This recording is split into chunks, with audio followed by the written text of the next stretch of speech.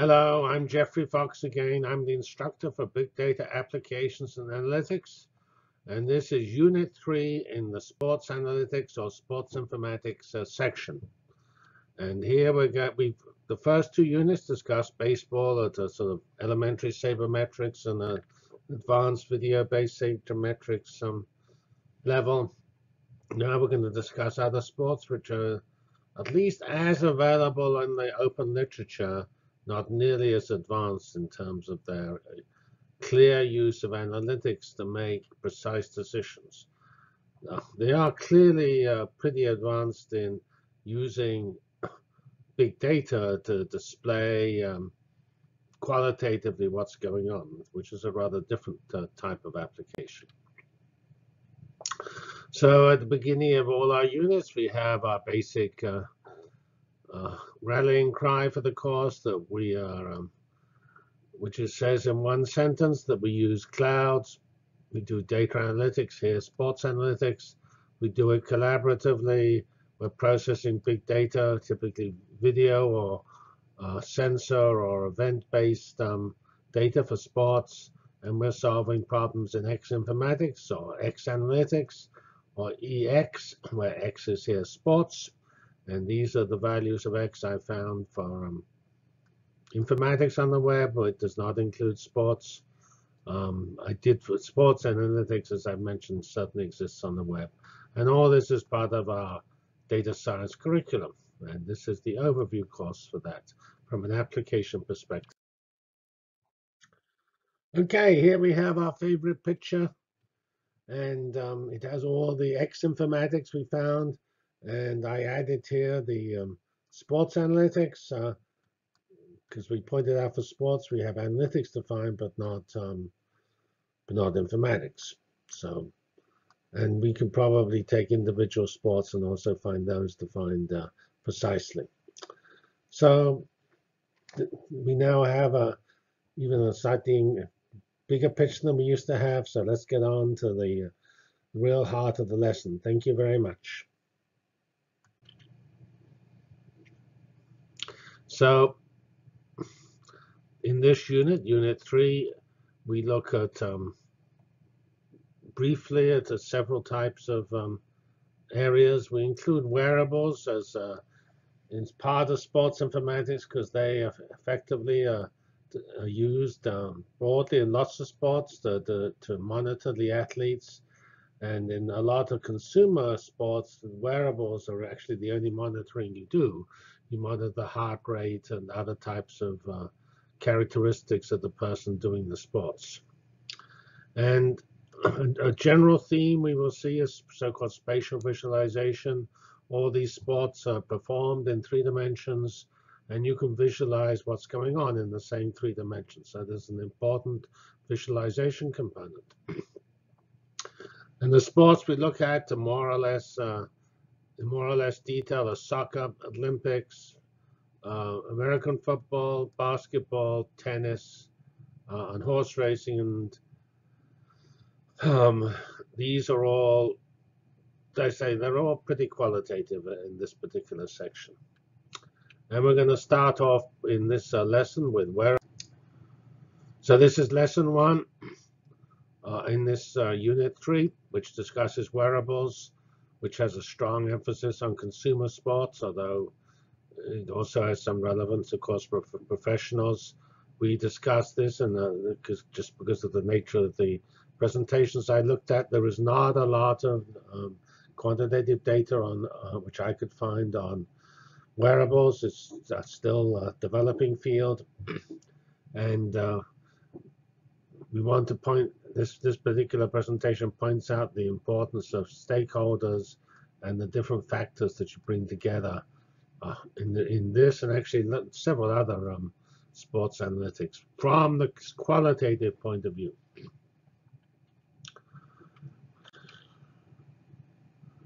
All right, so um, this material comes either from the, uh, this is an introduction to the whole lesson, and it comes from the um, MIT um, conference, also some I found on SlideShare. And uh, these, as I mentioned, are the uh, fields we're looking at in order. Um, wearables, soccer, Olympics, NFL, NBA, tennis, and horse racing. And as I said, there's a big emphasis on visualization and not on predicting success. Although we can expect that to um, the prediction of success to be of growing importance and is actually already applied in some of these areas. It's just not nearly as well discussed as it is for um, for baseball. Here is a talk I found on uh, a broad overview. It actually happens to discuss baseball, cricket, tennis, and soccer. Although again, I mean, cricket, as I mentioned, is a sport has some similarities in structure to baseball, and I would expect it to be reasonably straightforward to apply um, the same methods used on baseball to cricket. Tennis, at least, is one-on-one, -on -one, and so you have actions, uh, somebody hitting the ball in a certain place, and that action is um,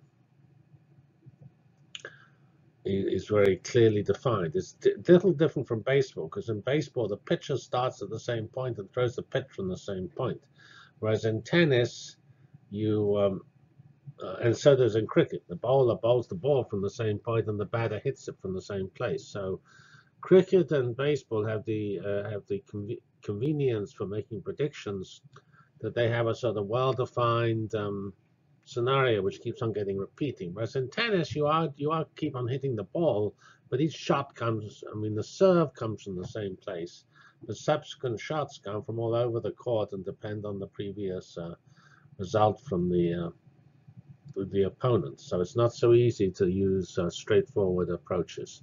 And soccer is, is potentially even more complicated because there are 11 people on a team and any given activity involves far more than one person on one team versus one person on another team. So here are some of the things that you can do with sports analytics. What we concentrated in baseball was predictive analytics. Also, in our baseball discussion, we pointed out the importance of the fiscal model, which impacted a lot of uh, decisions and allowed you to define how to do things. So let's just add that here. Because here we have the coaching or management decisions. Uh, there's distinct things. Each um, team to be as a coach and a manager, and they're doing different uh, parts of the sports process. We have here the experience which we're providing to people. We have uh, the analytics defi defining the operation of the team. And then we have the fans. And we already discussed in the baseball. The fans interacted with the fiscal model in a slightly complicated fashion.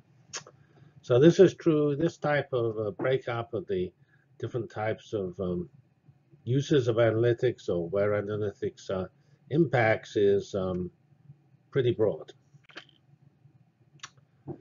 And when it comes to the wearables, uh, then we're going to be looking at these types of features of the player, their speed, their heart rate, the, hydration level, their breathing rate, their fatigue, and their pain.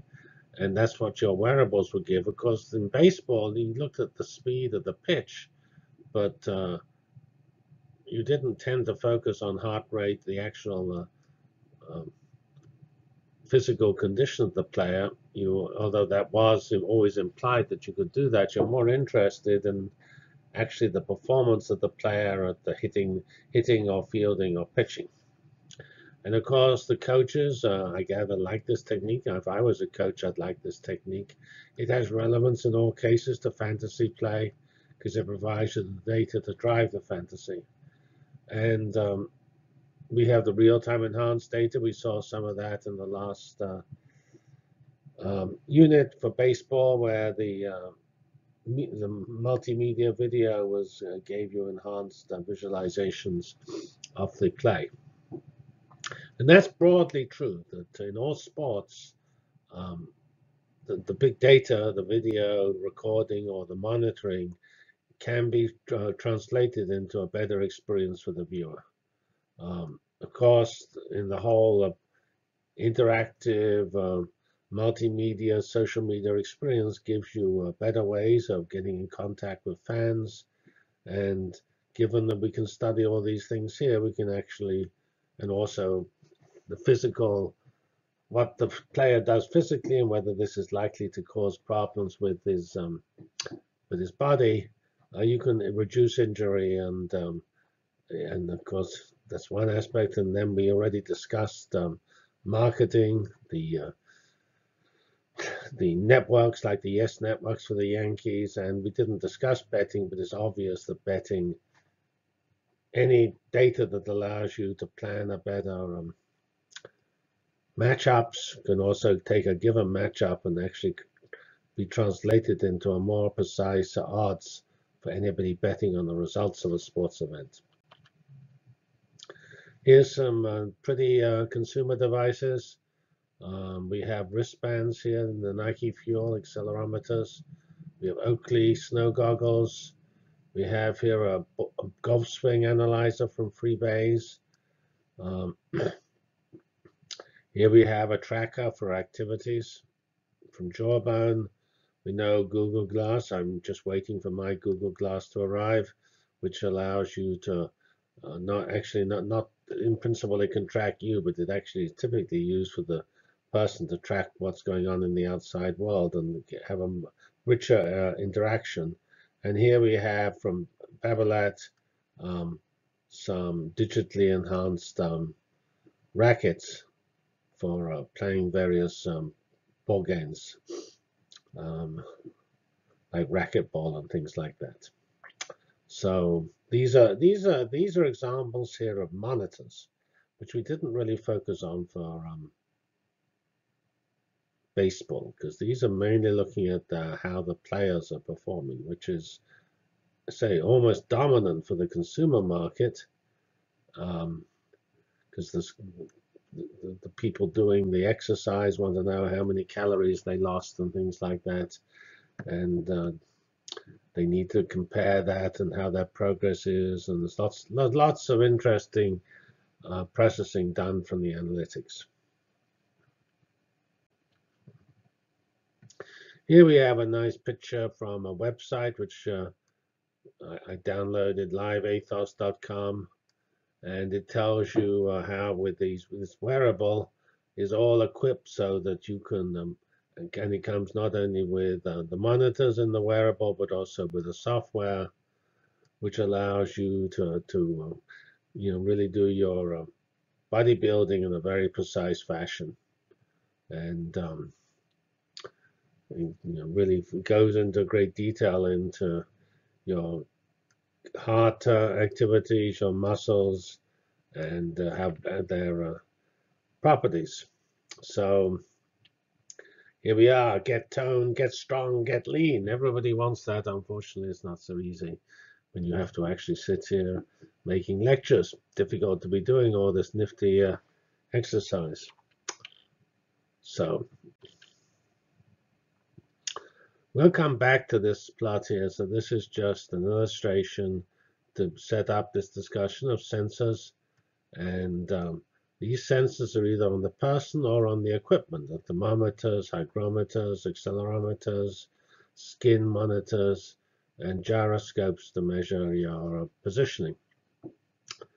And these are just some of many, many, many uh, sensors we don't have temperatures, obviously another one, pulse rates, things like that.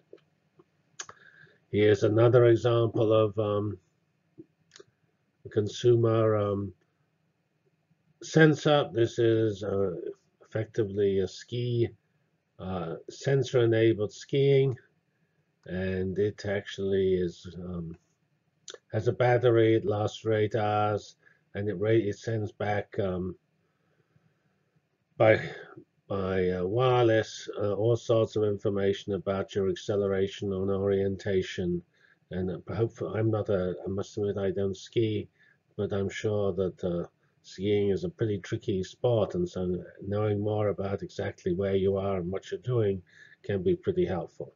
So we have a three-axis gyroscope and a three-axis accelerometer.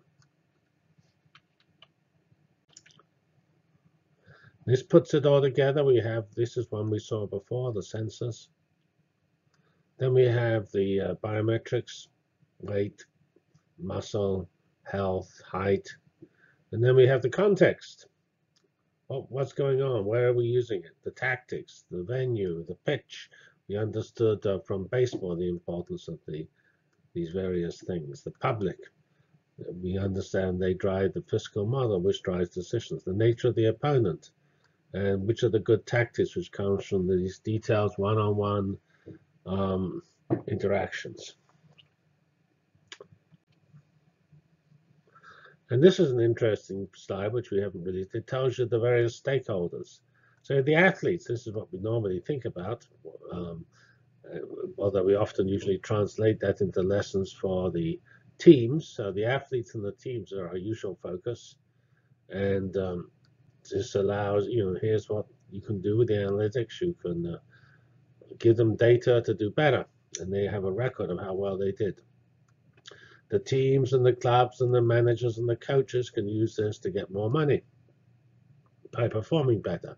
The equipment manufacturers can look at this data and uh, actually uh, build better equipment, either better sensors or just the physical equipment. The ski, uh, the skis can be just made be made better, um, and then you can actually um, sell that equipment and make money. We have the ruling bodies setting rules um, like the cricket uh, authority tells bowlers they're not allowed to bend their uh, arm more than a certain amount else because then you have to effectively bowl with a straight arm with, with a minimum uh, deviation and that can all be measured with sensors. And then of course we have the interaction between the media and the fans and there are the fans. And the fans, uh, this is this particular talk was motivated by telling stories to the fans and giving them a, a, motivation based on the stories created by the by the athlete's performance. We'll see that in the last slide of this uh, lesson. Here plots the types of um, value of the data for various types of athletes. Here, the, the this end of the curve, we have the professionals, the really great people. Here we have the people in so-called pro-ams. Uh, maybe these are the replacement players for baseball. And uh, these are uh, more of them, and uh, but they're, they're still actually uh, premium players. And so uh, you're using the data to design better equipment, more precise equipment, because these are the people who are going to use your devices to the maximum extent because there's greater, much greater value here. Um, here we have the heart of the uh, use of the of the uh, analytics and the and the wearables and the sensors, which is uh, just providing your main sales and your commerce. And here we have what you might call niche markets. These are people who are not not near them mean, and they're either got special interest or they're like me maybe especially bad and um, so they also provide they can be divided up into subgroups and that those subgroups can be looked at for optimizing your equipment and this is a giant this you know this talk particular talk is a very uh, um, business oriented talk this is this is wearables from the business point of view and here is how you put, we had these pictures of these three aspects that were broken up into subgroups. Um, and then we go through analysis, we make decision, we take actions on those decisions. And here they are, keep emphasizing that we create this um, magic kingdom for the fans, which are, have stories with heroes in the stories. And those heroes um, are reported by the uh, wearables and the video and the things like that. And those same um, data actually drive better performance and more heroic uh, achievement by these players. And here we have our favorite hero, Michael uh, Jordan in basketball, uh, dunking a uh, uh, a uh, shot. And so this is how our heroes are created, or in this case here, Michael Jordan is certainly a legend as a great basketball player. So that's the end of this section here. Uh, it's a rather qualitative section, partly because the comes the data is mainly from um, the business point of view, but also because this field is at this stage qualitative because unlike baseball, most other sports, especially consumer sports, apart from some very simple averages of heart rates and things like that, are not terribly uh, quantitative in what they're doing. And there's not these, they're not, um, I don't know, what, what we have is that wins above replacement. We would have, I don't know, for weight, you would have pounds below below the uh, typical uh, um, consumer. So you would uh, you would um, get ratings for your fitness. How about fitness compared to average, or fitness compared to to, to uh, people you could drag off the streets who might be below average. So nothing like that. Uh, there's not so much of that at the moment. We're still at the beginning of this field.